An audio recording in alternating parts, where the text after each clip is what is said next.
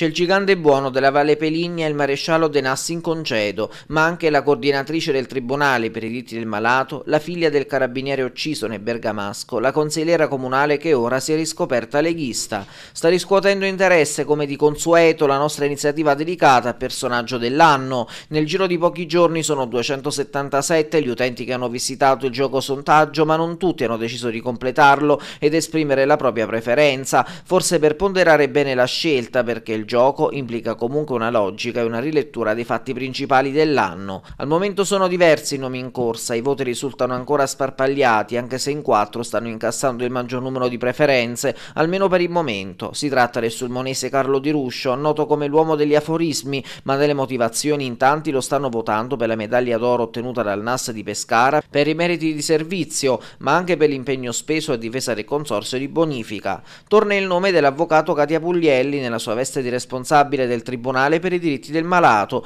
un impegno nel volontariato a difesa degli utenti più deboli che molti stanno apprezzando. Preferenze sono arrivate anche per Saranzini, la giovane di Sulmona figlia del compianto Emanuele, il carabiniere ucciso in un posto di blocco nel Bergamasco. Il riferimento alle parole spese nel giorno delle segue del padre, quando la ragazza ha detto ti ha ucciso l'ignoranza. Non manca qualche voto per la consigliera comunale Roberta Salvati, un'indicazione che arriva proprio in concomitanza con il suo passaggio alla Lega. Dal PD è passata all'azione politica nelle ultime regionali per poi salire sul palco con Salvini. Evidentemente tra i fatti dell'anno qualcuno ritiene che debba esserci anche questo. Per votare però c'è tempo fino al prossimo 30 dicembre, basta visitare il nostro sito internet www.ondatv.tv e cliccare sull'icona personaggio dell'anno. Basterà seguire le indicazioni e attenersi al regolamento, sotto a chi tocca.